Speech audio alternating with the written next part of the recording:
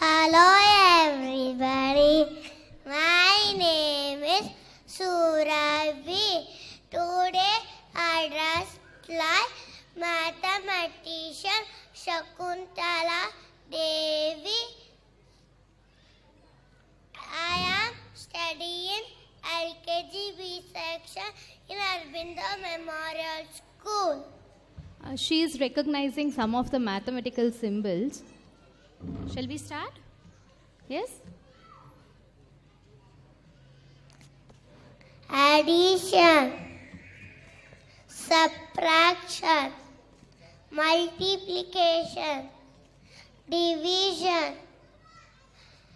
Is equal to great lesser than greater than square rectangle triangle circle rhombus, cube, cuboid, cylinder, percentage, square root, cube root, parallel,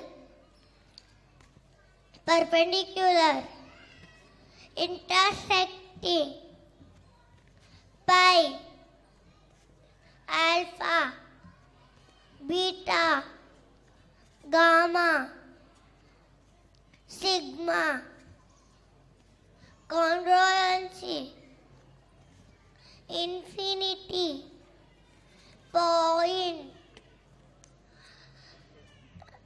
ray, line segment,